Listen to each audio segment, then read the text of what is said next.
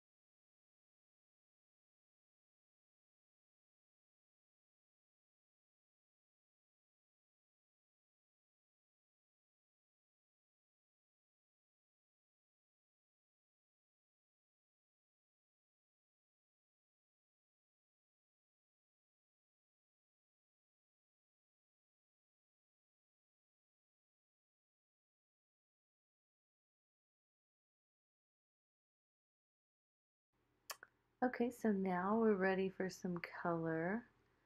So let's grab some turquoise, perfect for your pumpkin seed.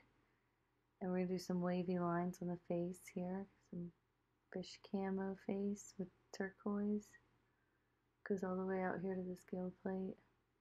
And I did this dark so I could color lightly over it later down the road here.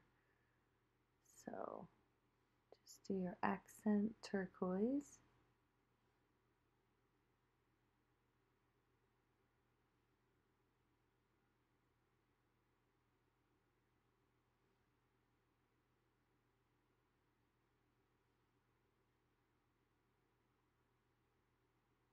Do some accents under the cheek.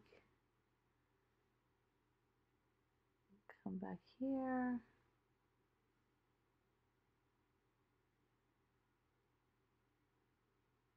Do some marks on his belly.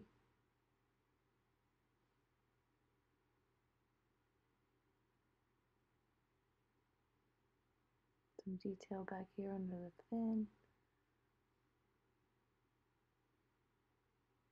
Okay, and then we're going to grab like a light brown and make some scale designs here on the back of the fish. Just real simple. Just to give the idea of the markings here of a pumpkin seed. They're really a cool little fish here in Pennsylvania.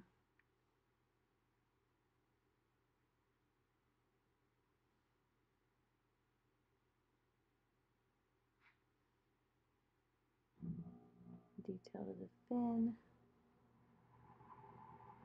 Darken it up here.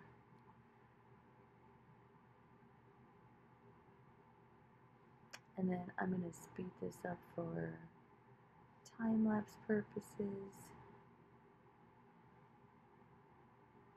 And get this filled in here. So we do a light brown on the face, fill the spots in, turquoise on the body,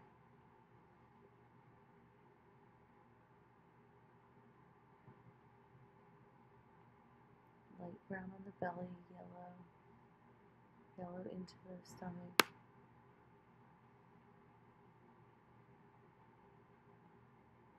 Dark tail, and then I like to accent everything with a dark black outline.